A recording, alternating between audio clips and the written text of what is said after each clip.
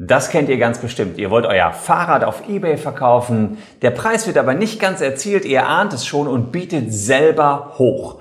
Was das für rechtliche Konsequenzen haben kann und dass das auch teuer werden kann für euch, das seht ihr in diesem Video.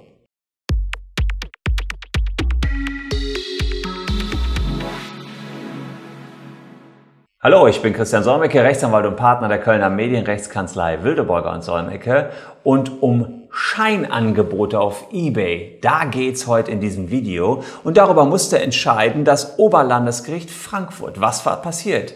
Jemand wollte seinen Pkw verkaufen und auf diesem Pkw hat eine andere Person 2580 Euro geboten. Das war dem Verkäufer allerdings zu wenig und er hat ihn überboten und sein Höchstgebot war bei 8008 Euro.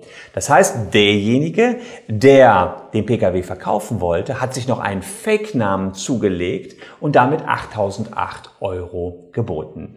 Jetzt kam der Zweitbietende und hat gesagt, Du bist ja, äh, du hast äh, ein, ein Fake gemacht, du hast ein Scheinangebot abgegeben. Ich möchte jetzt diesen Pkw haben für 2580 Euro. Das war nämlich mein Höchstgebot. Ja, sagt das Oberlandesgericht äh, Frankfurt, Scheinangebote sind null und nichtig, die zählen gar nicht. Dann zählt das zweithöchste Angebot und damit musste der Pkw eben viel, viel günstiger hergegeben werden. Jetzt fragt ihr euch vielleicht, wie findet man das denn heraus? Na, ganz einfach.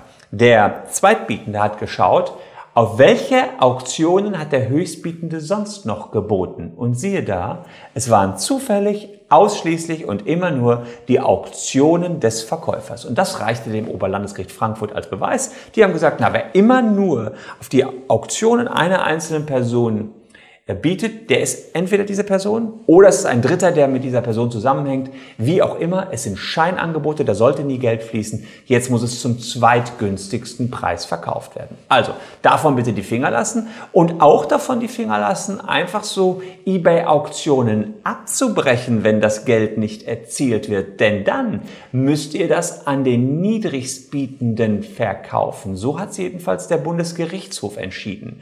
Einzige Ausnahme ist, wenn wenn jemand massenweise auf iPhones zum Beispiel bietet, sowas gibt es schon mal, es gibt so Profis, die bieten, sagen wir mal, 80 Euro auf iPhones und hoffen dann, dass eine gewisse Anzahl an Menschen einen Rückzug macht, die Aktion rausnimmt. Und dann sagen die Leute, du musst mir das iPhone für 80 Euro verkaufen.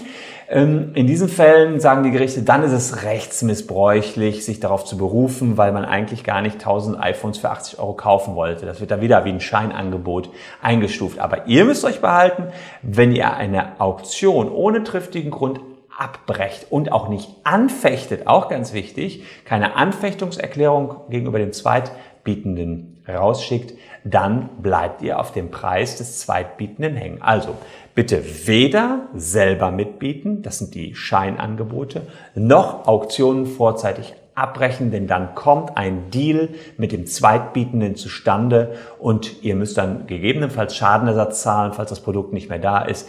Und der ist die Differenz, die der Zweitbietende zur höchsten Summe gespart hat, beziehungsweise äh, ihr müsst ihm dann normalerweise hier den, den Pkw entsprechend verschaffen. Also es kann teuer werden, wenn man Auktionen vorzeitig abbricht oder drüber bietet. Danke fürs Zuschauen, tschüss und gerne bis zum nächsten Mal.